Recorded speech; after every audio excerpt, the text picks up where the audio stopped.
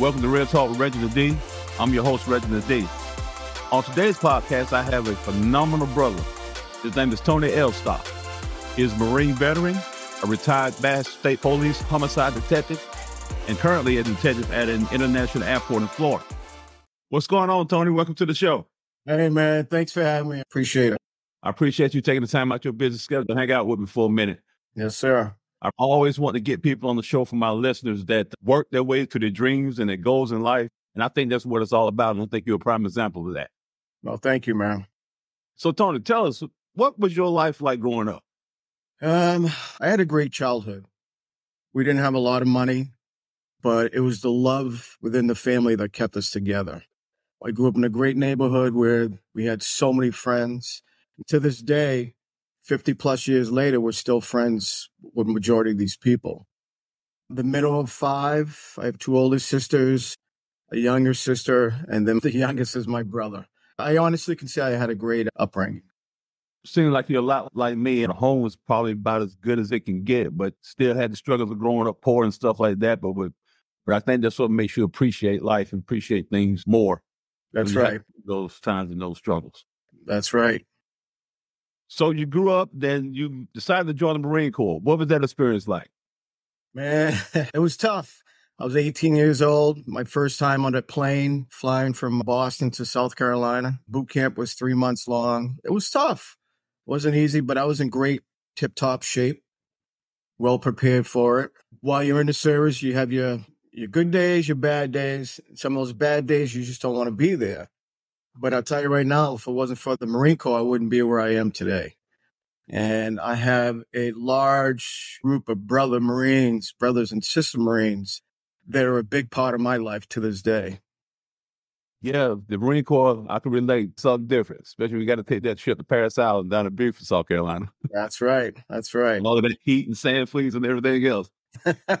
so you get out of the Marine Corps, then you decided to become a police officer. What motivated you to become a police officer? Well, that all started at a young age. When I was eight or nine years of age, I saw a couple commercials uh, with the Marine Corps that drew my attention. That was one of the main reasons why I joined the military. And growing up as a kid, there was a police officer in the city where I lived, and he took a liking to me. I remember walking to school six years old, walking to school with my mom. And back then, police officers were the crossing guards. And every morning and every afternoon, we'd take that walk to and from school, and that police officer was always there. And we became buddies, and I just looked up to him, especially the uniform that he was wearing. And as I got older, I just wanted to help people. And that was one way of me doing so by becoming a police officer. Yeah, it takes a special person to be a police officer. I'll tell you that. It really does. It really does. So then you went from being a police officer to a homicide detective, correct? Yes. What was that like? What kind of reward were you getting out of being a homicide detective? Well, I joined the Massachusetts State Police in 1996, worked my way up. I spent 15 years on the road as a road trooper. I was at the academy as a drill instructor, teaching the new trainees. Then I decided to seek becoming a homicide detective. So the last 10 years of my career with the state police, I worked homicides. Well, not only just homicides, it was any type of death investigations, fatal shootings, non-fatal shootings, fatal uh, traffic crashes. And to this day, I can remember the very first homicide that I worked. That initial phone call at 3, 3.50 in the morning advised me as far as what transpired, that we had a fatal shooting. One thing that, as far as working homicides, is dealing with the victims' families. And I would always put myself in their shoes. And that gave me the, the motivation to work my cases as hard as I did. To this day, I do have a uh, great relationship with this one particular family whose loved one was killed. And we keep in touch all the time. That's great man, you got me kind of choked up on that one. I can only imagine you going out there and, and doing your thing as a homicide detective and you looking at the families and talking with the families and you looking at the brokenness, uh, heartbreaks and all that stuff they're going through and you putting it on your shoulders to solve this thing for them or give them closure and things like that, man. That's awesome. So when you were a state police officer, then homicide detective, you also worked, I mean, lived like like a couple hours of sleep a night doing details for years. Many, many years of that. That is crazy to me. You know, I don't even think the human body should even be able to react to something like that. Right. So That's right. Tony, where did you get your drive from to just be relentless and grind like that? I got that from my mother, believe it or not. I definitely got that drive from my mom. My mom was a hard worker. I remember growing up, she was working two or three jobs, come home, make sure there's dinner on the table, then right back out the door, back to work. So I definitely got my drive from my mom. She is a remarkable woman to do all of that. That she is. So you got all this drive. And what was your goal in life? You getting up, you're grinding every day. You're doing what you got to do to make it happen. What was your main goal? Just to be the best person I possibly could for my family. I just wanted them to have much more than what I had as a child. So that was the motivation I need. And that's what kept me working as much as I did, just to provide for my family. So let's talk about your family. Tell me a little bit about your family. Well, we're from Washington, D.C. We moved to Massachusetts when I was five years old. Went to a uh, school system in Massachusetts, graduated high school, went on, as you know, went on to the military. My dad was a great father. He taught me everything that a father needed to teach their sons sports, mechanics, as far as fixing cars and stuff like that. And my mother, as I said, my mother, she was the disciplinarian one in the household. Actually, you know, there are times that I needed that. And if it wasn't for that, I would not be where I am today. You know, my siblings to this day, we're all close. Even though we live in different states, we still communicate on a regular basis. Even cousins, aunts, uncles, especially out in DC, Maryland area, we're a tight, tight knit family. And that's where I get that drive from as far as the family love, the family dynamics that'll keep you going. Yeah, it, it really does. I think I can say that's probably the main thing that really drives me every day when I look at family and knowing that I gotta actually I just feel like I have a responsibility. Exactly. You know, be able to take care of my immediate family, see some of my other younger cousins or, or whatever, you know, see how I work things through life so they can have some type of example to see at the end of the day. So you married, you have kids. Tell me a little bit about that. I'm married. Yes, I am married. I've um, been together for, I better get this right. It'll be 19 years this year. I have three girls. My oldest lives in North Carolina. She'll be 29 this year. My middle one, she'll be 24 next month. She lives in New York City. And my baby, she's 13. She's here in Florida with us. So all these girls, man, you don't have a weak spot because I tell you, on my side of the world, these girls make me weak, man. Sometimes they do, they do, they really do. Plus, I have stepdaughters too, so I've raised nothing but girls, man. Yeah, I guess it's necessary. It is. Yeah, have a strong father in their life. That's awesome. So, what's the most important thing in your life? Family. It's got to be family, man. Without family, you got nothing. You got nothing at all, man. You can have all the money in your pockets that you need, but without family, a good support system, you got nothing. You're right about that. You're definitely right about that. Family is over everything at the end of the day. I mean, they can get on your darn nerves sometimes, but man, I'll tell you what, you can't do without them. That's right. You can't do without. You still love them, and you have an obligation to be there. And like I say, if anybody's gonna love you for real, it's gonna be your family. That's right. That's right. It's gonna be your family. So let's talk about you having this dream of retiring and moving to Florida. How did that come about? Well, my wife and I, when we first started dating, we would go on vacation to Florida because I had one of my Marine Corps brothers who lived in Florida that we used to go visit. And he lives on the East Coast. So we would go there and visit him. And someone had told me about Southwest Florida. They said, once you go to Southwest Florida, you'll never go back to the East Coast. So we started vacation on the East Coast for about 16 years. And we knew once I retired, we were moving to Florida. And everything worked out. We're very happy the way everything worked out. I retired in um, June of 2021. We moved here in July of 2021. And then I went back to work in August of 2021. So my retirement was a very uh, short break. But when I went back to work, I was a part time police officer down here. And I worked part time for about five months with this agency that I'm currently employed with. And honestly, I got bored, man. I had to go back to work. So they asked me if I want to go back to work. I went back full time. I worked full time as a patrolman for about a year. And then a position opened up for an investigator.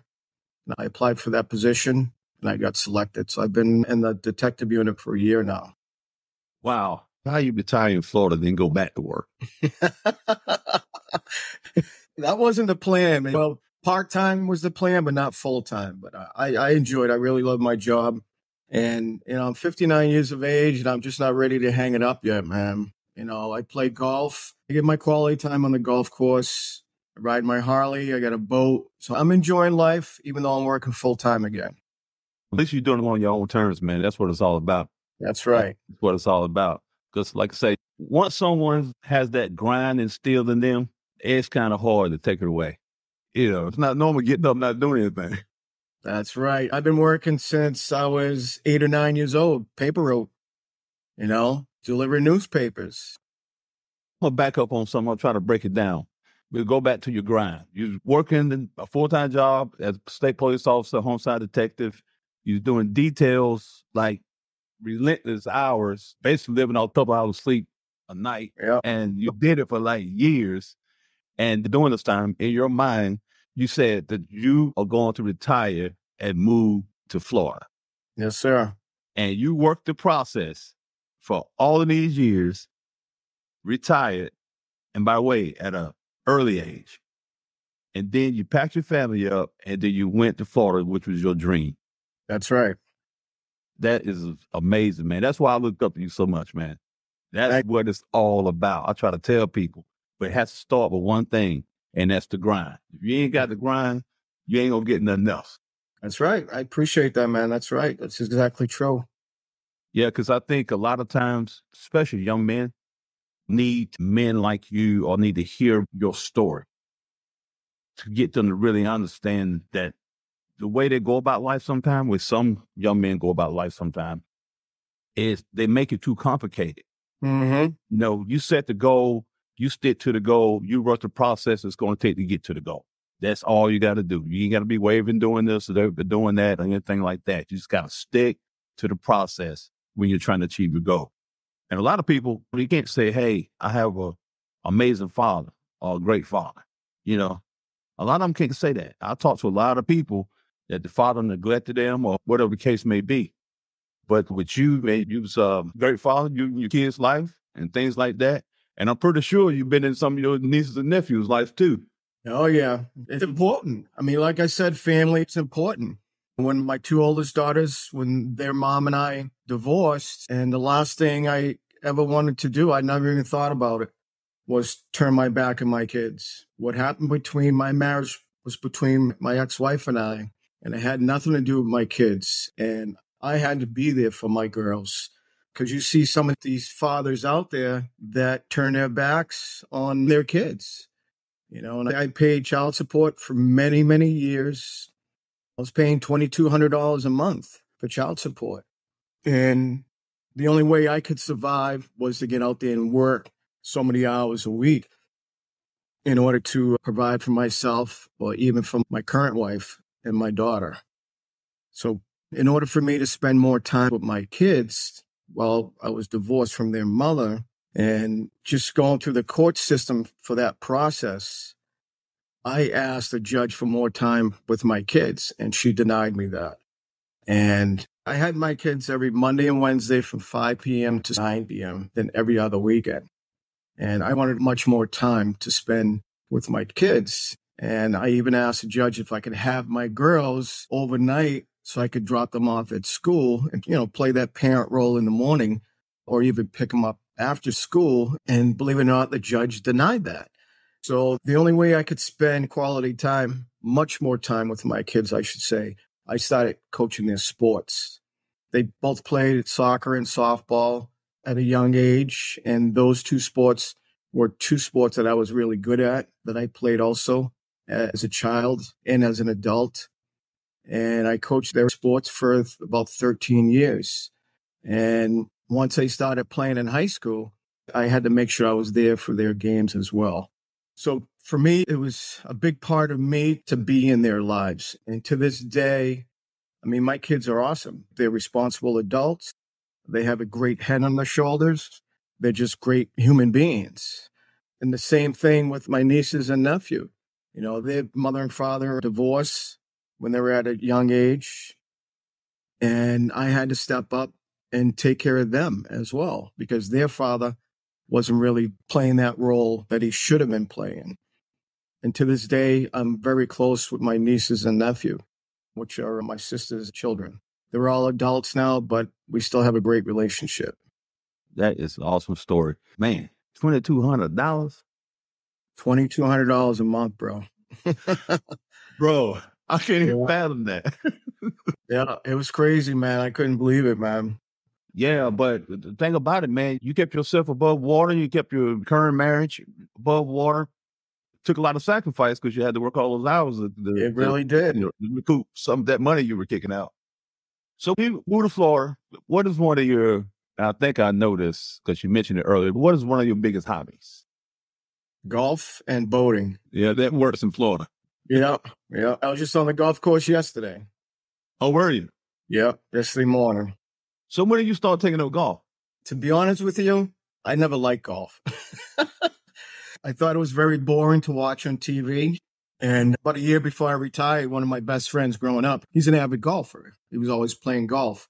And about a year before I retired, I, I went up to him. I said, Hey, can you teach me how to play golf? I need some type of hobby when I'm retired. So he taught me how to play. That was in 2020. And I've been playing ever since. It's a very relaxing place for a man that's on the golf course. That's right.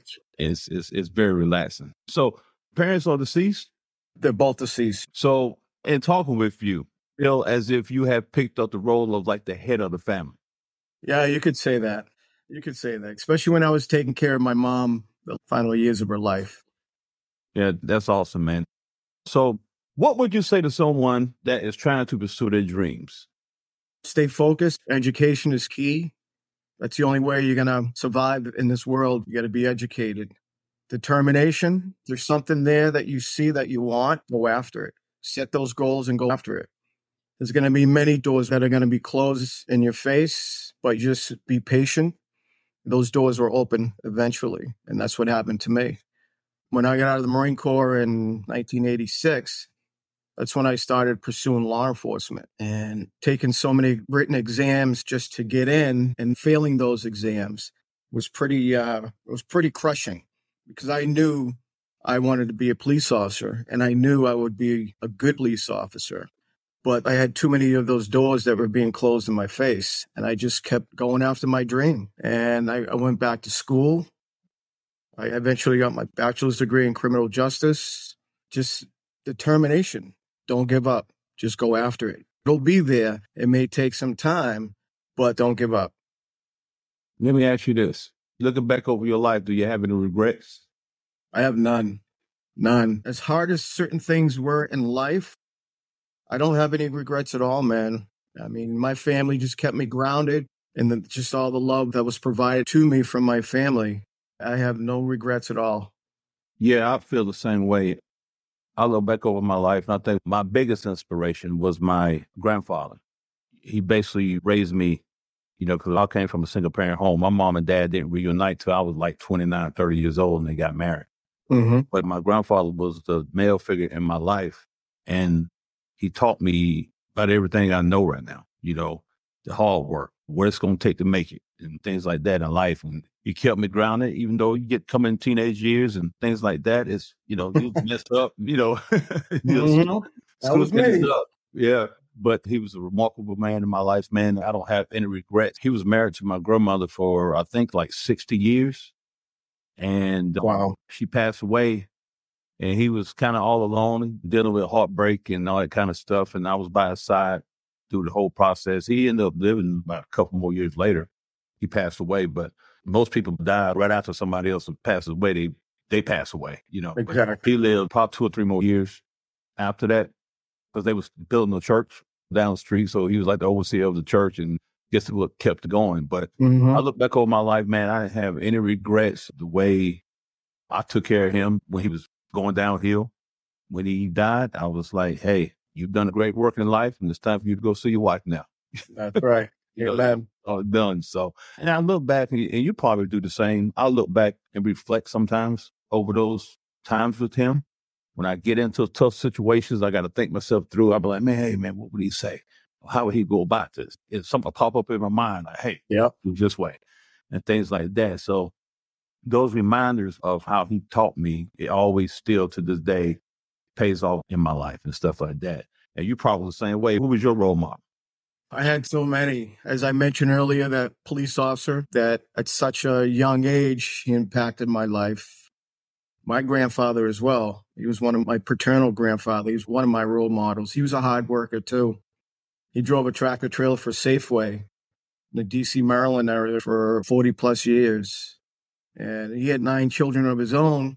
He was hardly ever home because he was always working, trying to provide for his family. So I would say my grandfather as well. He, he was definitely a positive role model in my life. And my mom, she was a mom and she was the dad in the family, you know. She kept us grounded. She didn't hesitate to crack me upside my head when needed. But my dad suffered with his inner demons, but my mom kept us all together. And I thank her for that. Yeah, that's special. And you look at women today and you see all the effort they put into the families and things like that. It's amazing what they pour into their families and all the hard work, especially, you know, you got like single parents out here, man, just working three jobs and trying to go to school and take care of the kid. And, you know, kudos to any woman that's holding the family together. Cause I remember my mom, me and my little sister, and she worked three jobs, went to school, played for like seven choirs in the church. Crazy, man. We still poor, you know, stuff like that, man. I'm yeah. I, I had to sign a waiver at Burger King, so I could go work. Uh, 13 years old on, the fry station just to help pay bills and stuff like that in the house. Yeah. So, yeah, my mom was remarkable and she kept everything together and she kept us grounded too. Well, Tony, man, it's been real, man. I'm glad you stopped by to hang out with me for a minute. I'm telling you, man, your story, I had to get you on here because you are, to me, the perfect example of a real leader and a real man. Oh, thanks. I appreciate that, man. I'm glad you stopped by, man. Thank you for having me on. All right, appreciate you. Thank you for tuning in to Real Talk Reginald D. If you enjoyed the show, please share with anyone you feel who need to take this journey with us on being a better you. See you next time.